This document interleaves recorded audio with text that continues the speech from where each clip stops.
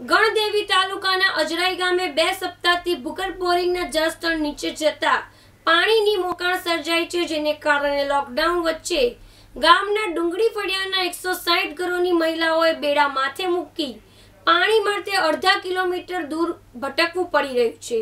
સમસ્યાથી છુટકારો મેળવવા એક સપ્તાહ અગાઉ ગ્રામ પંચાયતે સબભંડોળમાંથી નવો બોર બનાવવા તાલુકા પંચાયત પાસે મંજૂરી માંગી છે. જેથી હવે અધિકારીની મંજૂરી પણ લોકોની મીટ મંડાયેલી છે.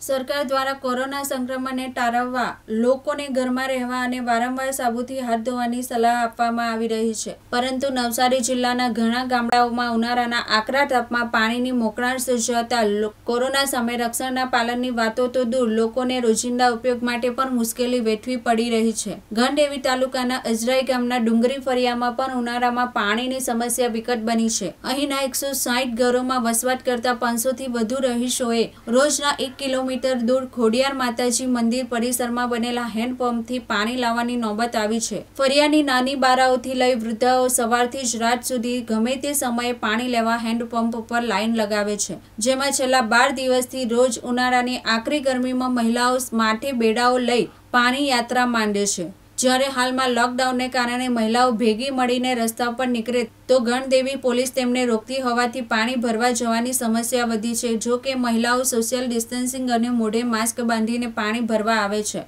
અજરાઈ ગામે ગામતર વિસ્તારમાં છેલ્લા પાંચ વર્ષથી પાણીનો મુખ્ય સ્ત્રોત એવા ભૂગર્ભ બોરિંગ જળ સ્તર નીચે ગયા છે. પરિણામે પાણી ઉલેચી શકાતું નથી. જેને કારણે ઉનાળાની બરબરતી બપોરે એક બેડા પાણી માટે ગણદેવી નવસારી મુખ્ય માર્ગ ગોરંગી મહિલાઓએ પાણી ભરવા જવું પડે છે.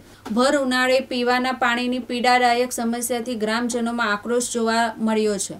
ગામમાં ઉઠેલા પાણીના પોકારો શાંત કરવા સરપંચ ભારતીબેન અને તાલુકા પંચાયત સભ્ય રાકેશ પટેલે પંચાયતમાં જરૂરી ઠરાવો કરી એક સપ્તાહ અગાઉ ગામના ડુંગરી ફરિયામાં નવો ભૂગર્ભ બોર અને પાઇપલાઇન જોડવા માટે પંચાયતના સ્વભંડોળમાંથી બાવીસ હજાર રૂપિયાની ફાળવણી કરી.